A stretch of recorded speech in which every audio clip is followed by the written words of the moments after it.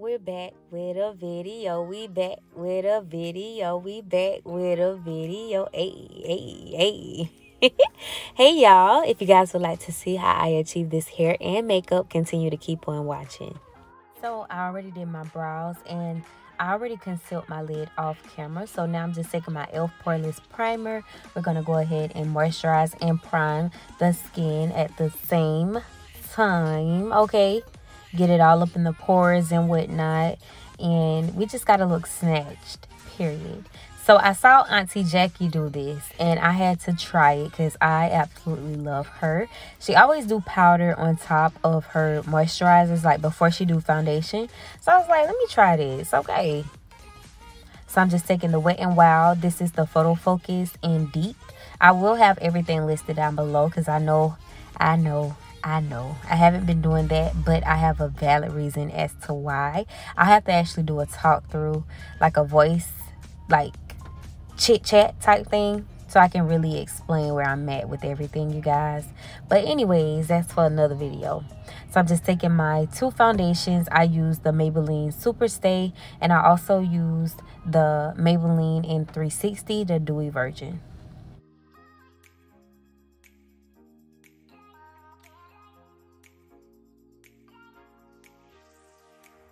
Okay, so once I have the foundation basically stamped on my skin, I'm to go in with this Beauty Blender from Morphe. And we're just to tap, tap, tap, pat, pat, pat, swiper, no swiping.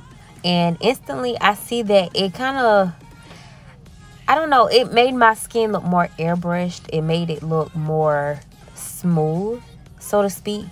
And I could have used less foundation, honestly, if I knew it was to give me that type of coverage.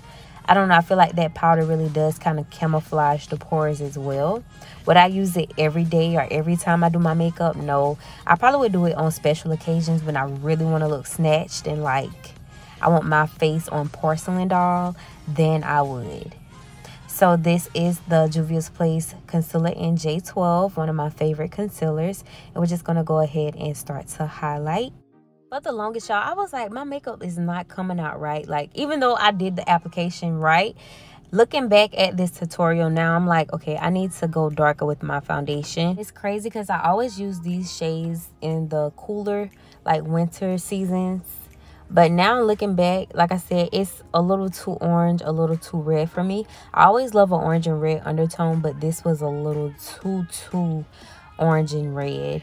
And i really feel like it's because of the lighting as well though. It wasn't as orange as how it looks now but it was kind of gloomy outside. It was kind of dark outside so yeah i should have recorded with my ring light but it is what it is. So i'm just taking my beauty blender. By the way this is damp and i'm just gonna go ahead and blend my concealer out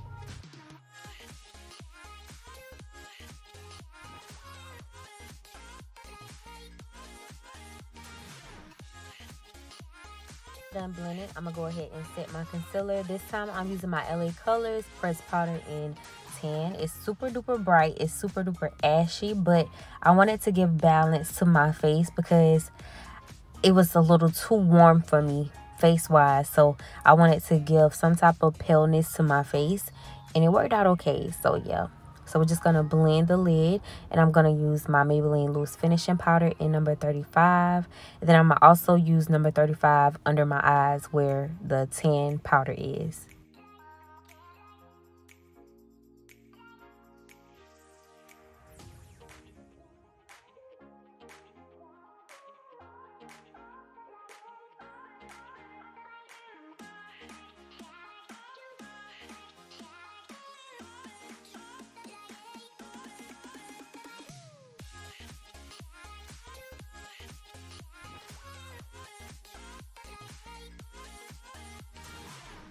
I'm making sure that I completely blend everything together. I want everything to smoothen and just complement each other.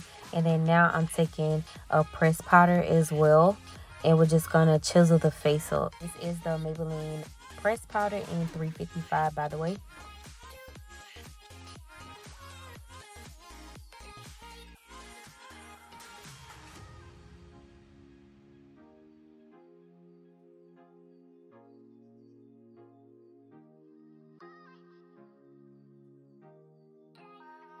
To spray my face, set everything together, I'm taking two of my Morphe setting sprays. I'm using the white one in the can, which is the mattifying.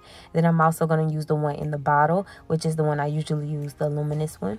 And I just mix those two together because I don't want to look too dry, but I don't want to look too damp, if that makes sense. And to do my wing, I'm taking my NYX matte liner per usual. You already know.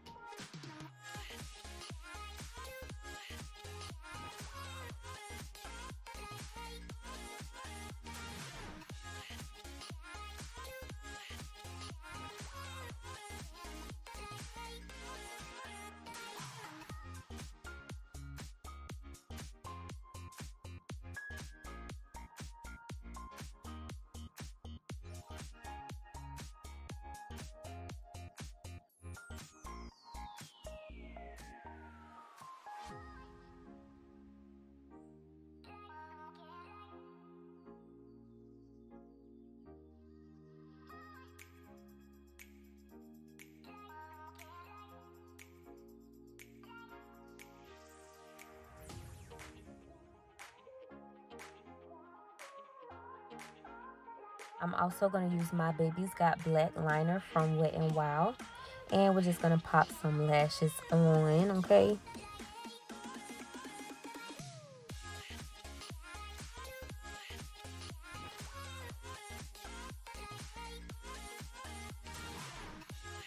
To bring a little bit more warmth to my cheeks, I ended up using the brown eyeshadow from the Zulu palette from Juvia's Place. Y'all already know I love to use that brown like to like contour slightly but to use it as a bronzer as well. So now i'm just gonna line my lip with my wet n wild simmer brown nail pencil i'm gonna top this off with a brown gloss from 95 cosmetics. They sent me two glosses a clear and a brown. So i will have the link listed down below if you guys would like to purchase and their instagram. So yes it is black owned so yeah, go check her out, support, all that good stuff. And let's hop into the hair. So today's video is sponsored by Asteria Hair. They sent me a lot of goodies and some lashes and elastic band. And I love these silk wraps they sent me, y'all. They are so pretty. So I'm going to go ahead and put some makeup on my wig cap. And y'all, when I say this hair was A1, this is some A1 hair like. I'm talking about bomb hair. And she was so full. It's 250% density. I did try to bleach the knots, but it didn't really take the bleach as much. I didn't really put a lot of bleach on it anyways because I was scared to even mess up the hair. So I was like, you know what? No, let me go ahead and rinse it out because I don't want to take no chances bleaching the hair because this hair was bomb. Okay like thebomb.com period. So look at the parting space. It's very pretty. So it did take the bleach a little bit as you can see but like i said i chinked it out because i did not want to mess this unit up. And on the sides you don't get that much parting space but I ended up doing a middle part anyways. So I'm taking my hot comb and we're just going to smooth the roots out. And it did fit from ear to ear, which I am so happy about. Y'all already know how it is. Y'all know how I feel about that. So yes y'all i'm getting excited because when i say this hair was bomb and it's 26 inches but honestly it felt like it was like 30 inches because it's super duper long and y'all know i'm short i'm 5'1 so it went past my butt so yeah.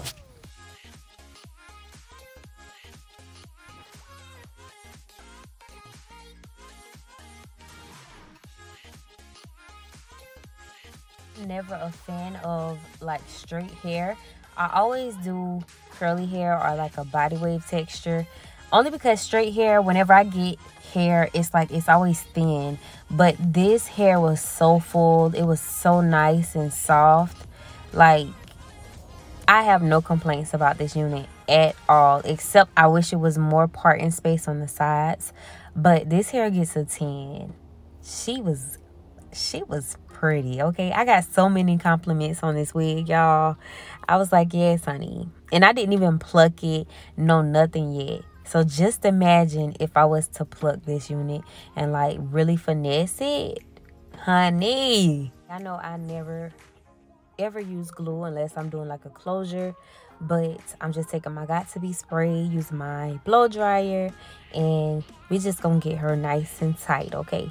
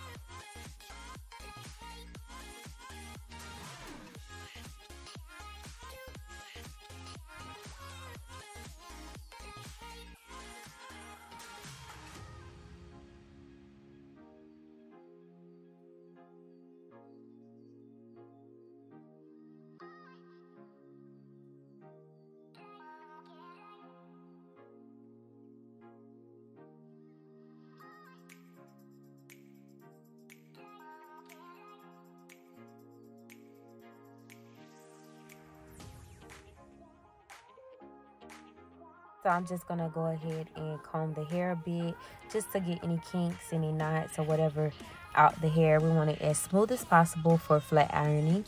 And I decided to do a middle part. Right, y'all. I absolutely love this unit. She was so pretty. Super duper gorgeous. Like, no complaints about this hair. Only thing is, and that's with all companies, I wish they would make the frontals like a if you have a frontal wig make sure that you get all frontal in the front part instead of like the tiny spaces. I know it's the way they construct the wigs but it would be so bomb if the frontal portion was full frontal. Y'all get what i'm saying? But yeah this week was still a one for real for real. So i'm just taking my hot comb. And we're just gonna smooth the roots out. And y'all know i'm gonna take my um wax stick my spritz my Got To Be spray all that good stuff to make it look very very flat. I don't like when my hair looks bumpy in the top. So yeah we're just gonna smooth her out and get a nice get a tight get a slade and all that good stuff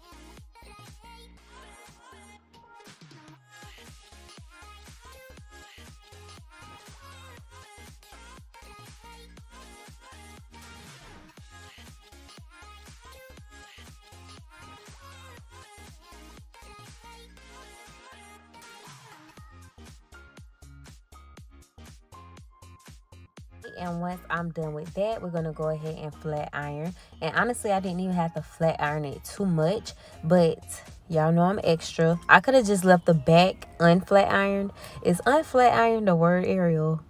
Y'all get what I'm saying. I could have just flat ironed the top and left it at that, but this hair was so silky, y'all. She was so soft and bouncy and full, like 250% density on straight hair girl, heaven, heaven in a unit, okay? And y'all already know Irresistible Me, my favorite flat iron. Like, I use this flat iron more than my Brilliance New York one because it doesn't leave my hair with that smell or nothing like that. It gets hot fast and everything. Like, I love this flat iron, y'all. I will have a link listed down below because I did say I was to uh, put it in the other video and I didn't. So I'm to be a person of my word and yeah, if y'all want to purchase one, I will have it listed down below. I promise.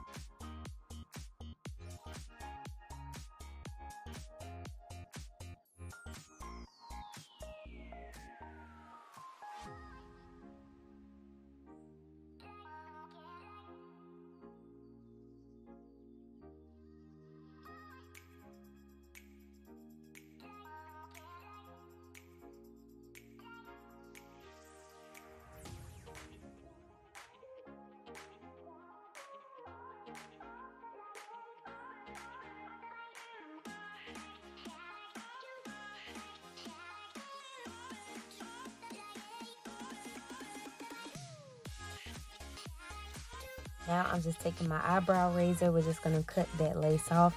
I really hate that the sun was not shining this day, y'all. Uh, it was so gloomy outside. It was so dark. But I still try to make the best of it. Next time, I just know to just use my ring light so I won't have that problem. But sometimes I just want to use natural lighting.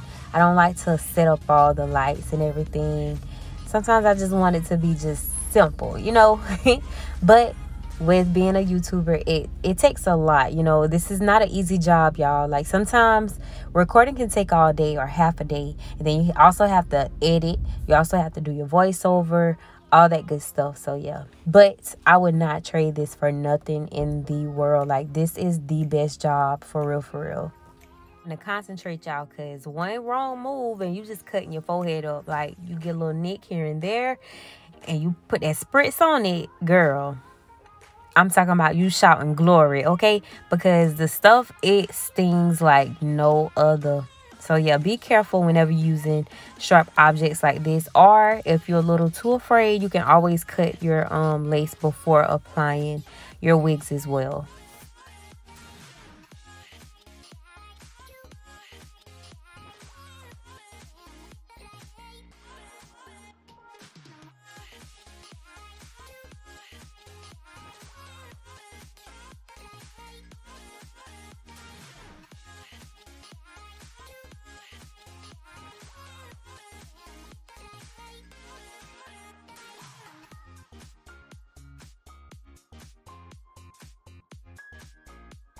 Okay, so once I'm done with everything, I just put a little bit more foundation just to camouflage the lace and blend it some more. This is the completed look, you guys.